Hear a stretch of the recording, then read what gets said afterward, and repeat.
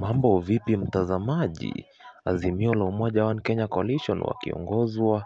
na bwana Raila Amolo Odinga ambaye pia ni kinara wa upinzani katika nchi hii ya Kenya wameweza kuhold a very urgent public meeting baada ya bwana William Samoei Ruto kuteua watu fulani wenye na ambao wanaazimio hawa wamezidi kusema kwamba they are not serious na hawawezi fanya mazungumzo nao wakiwemo watu hao ni mbunge bwana Kimani Ichung'wa na mbunge wa wengi pale bungeni.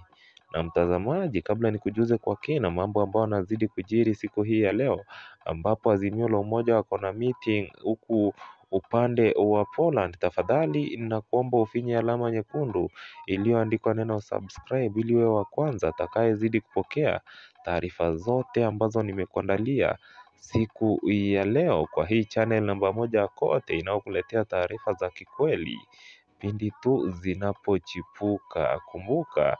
hata hivyo rais William Samoei Ruto kuna ujumbe fulani ameweza kutoa na ameweza kumwomba Raila Amolo Odinga asiweze kupull back